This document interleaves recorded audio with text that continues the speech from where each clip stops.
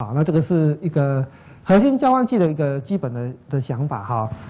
那刚刚讲你的 N 你你的那个翻转网络是加入核心交换器，那还有没有其他的？SDN 好，众志是什么样的公司？怎么可以跟国际大厂拼呃做 SDN 哈？那这个 SDN 事实上是很久之前一个那个大陆的公司跟我讲的。他说：“哎，你们有没有新的要发展的东西啊？”他们说：“现在流行 SDN 啊。”那我们讲哦，SDN 啊，那看看呐，我都我都花花了一点时间去看一下，发现说：“哎，在那个时候，SDN 我是没办法做那个管控的。我们把它做出来之后，发现不对啊，这我我是做 firewall 的，封包没办法，不是我不是我管的哈。那我们看一下为什么不是不是我管的哈？假设这是三个水曲，三个 router 好了哈，三个不同的地方，那。”你看那甲地乙地，然后绕进，那有一个绕进水曲，有个抠水曲在这边跑来跑去的哈。那我如果说要改变一下目的地的话，怎么办？本来假设甲地路由是这样跑，是这样跑的话，那我想要把它把风包往从这边跑到这边的话，怎么办？开始改了，登录这个 router 水曲，跟他讲路由，跟登录它，登录它，开始去做做那个那个路由的那个改变。好，那这个同一个厂厂牌的还算简单，不同厂牌呢，你很痛苦了。这个东西改起来绝对是痛苦的事情。假设你的你的网管，或者是你有改过这样的大路由的时候，你会那是很痛苦的。那核心交换器那个之前就很简单哦，我就全部都 Open Flow 送出去了。这是个扛，这是个 device 而已，它只是 media，就是接那个设备的那个 media 的那个 device 而已。好。全部都交给 SDN 的 controller 控制器来控制，啊，全部都交给他。好，那全部不把 IP routing port QoS 应用程式管制，通通交给 SDN controller control。那这个跟我们刚刚讲的那个有什么不一样？哎，这个地方又有什么不一样？我们再来看一看哦。好吧，那你说你 SDN，那众志把 SDN 放进去，那怎么玩？我们看一下这个这个图也很好玩哈，一样嘛哈。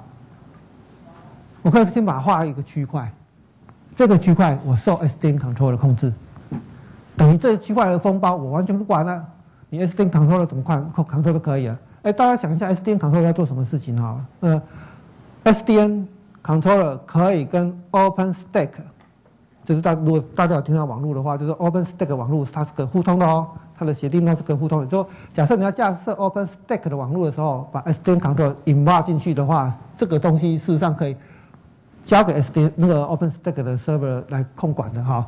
好，那我就划分一小块给你，这是完全受到你 SDN control 的控制，我不管。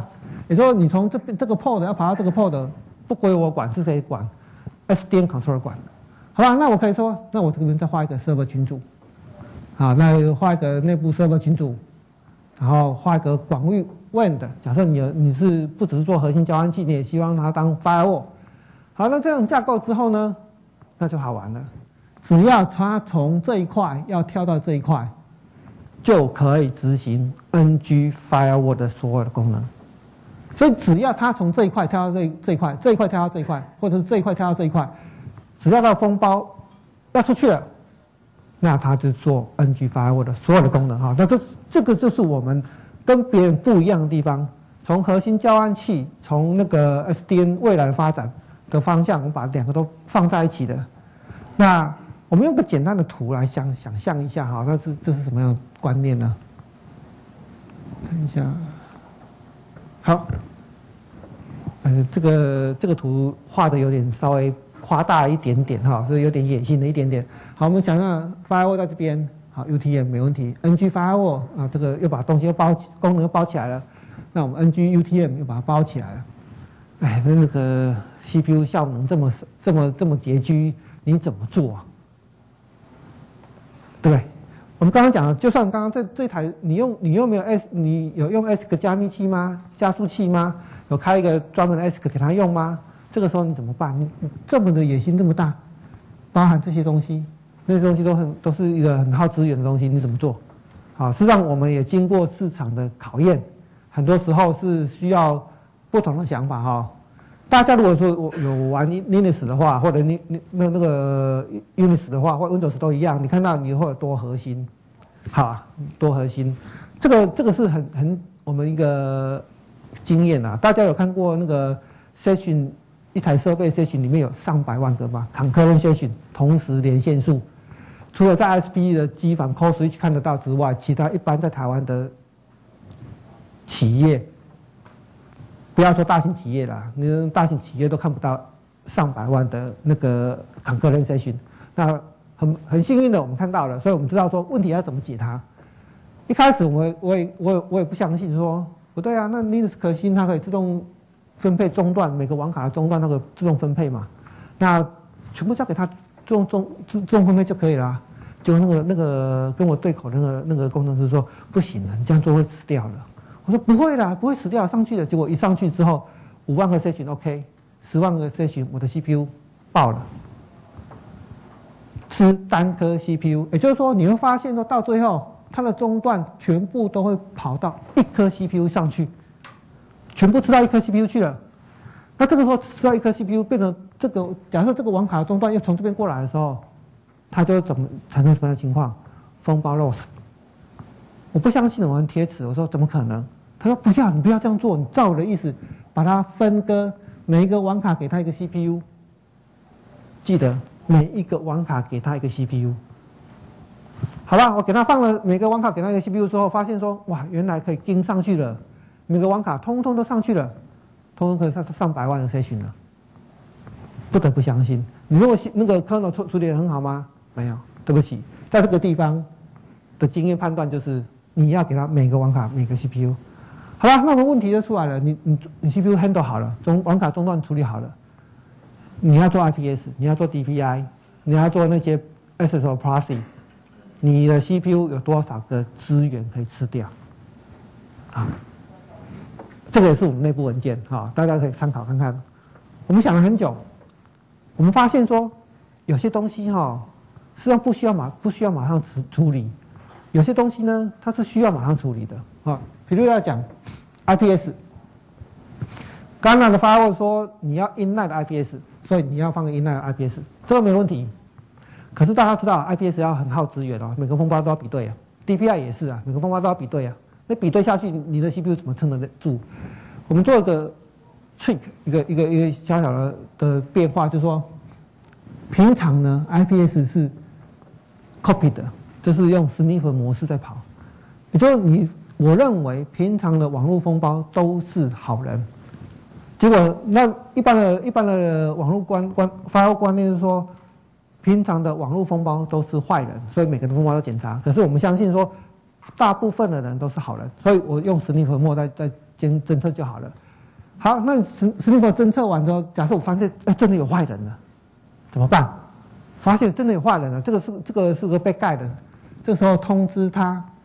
我还是个依赖这边哦，启用他，因为我每个风暴一过去都会打个 mark 给他，打 mark 打完 mark 之后发现他有问题了，赶快把东西对吧贴上去，把它后面的风暴丢出去，丢呃应该讲丢掉了哈。这样有个缺点，也有优点，优点速度变快了，CPU 资源资源不那么那么高了。缺点是什么？你会漏掉第一个风暴，因为第一个风风暴是十米分嘛哈，它已经出去了。可是大家都想想看。对啊，你网络攻击的时候，你会记得第一个风暴是什么吗？通常不会了，通常都是你发网络攻击出现了大概三五分钟之后，你才知道说我要挡它了。所以，我漏掉第一个风暴，并不代表我会对我的网络产生多大的威胁。可是我因为有漏掉了第一个风暴，我的整个 CPU 的运作效能变高了。好，这是个一个很简单一个观念哈。所以 DPI 一定是要串接的，它没办法，你一定要这样做，要不然你你怎么找得出来那个风暴特征值啊？那 Proxy 也是一样，所以我这是我们一个一个把它怎么把效能提高，因为你必须要思考一个方式，说效能不提高是吃不了的哈。好吧，做了那么多，我们刚刚讲说有那么多的那个功能，很复杂，很复杂就很难做，很难管。我们又做了一件事情。把所有东西 log 全部用图像呈现出来，好，这个也是很少人做到的啦。你看到市面上大概 NG 发或或 NG UTM 很少人会这样做了哈。除了就算大家讲的应用程式 Palo 大概也没有像这样做哈。好吧，我先用个时间轴。以前的时间轴是怎么样？sequence 几点几分发生什什么事情？几点几几分发生什么事情？这样一串下来，你去判断吧，你累积吧，是不是？我不要，我开始用个时间轴。你的次数是什么？对，这是次数。好，反正这是 NG 安全防护。好，譬如讲说，我这个是呃 UTP broadcast 的次数。好，在这边，在这个十四点的时候，它次数多少个？然后是哪一个人？然后哪个 IP？我用这样的方式把它呈现出来。说我帮你把数字算过哈，那么看一下流量也是一样。那我把流量也把它分析出来。然后把那个 Web，不管是 Web，不管是 HTTPS，我刚刚讲过 SSL 吧，只要你是用 Browser 的 SSL browser 的 HTTPS，不管上哪个地方，通通都可以解析出来。这个也是一个很不容易的地方哈。那这个是一样嘛？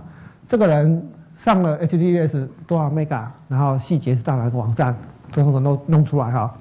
好，那是即时这个没问题哈。那么看一下。那我们云端网络安全哈，实际上这个地方就是我们另外一个 topic，就是说网络安全实际上是不可以打折的，不可以被说啊这个放弃怎么样的动作哈，不可以。